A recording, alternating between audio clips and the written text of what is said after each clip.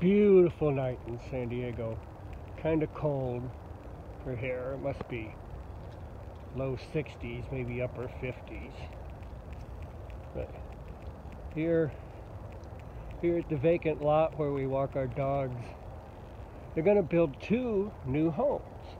So I'll have new neighbors. The story is that I got is they're going to rent one and the owner's son's going to live, or kid, I don't know if it's a boy or girl, will live in the other. So there'll be a rental up here. Another rental.